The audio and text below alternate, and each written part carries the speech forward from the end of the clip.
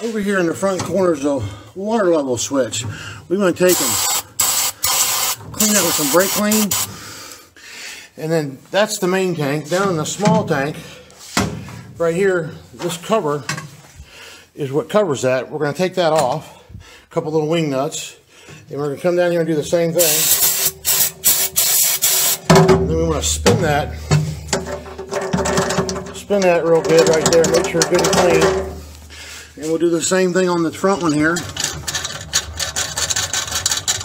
Now, that will ensure that your machine is going to work properly when it gets turned back on. What happens is dirt, soap dries on that. That's a little magnetic switch and it won't allow it to work properly.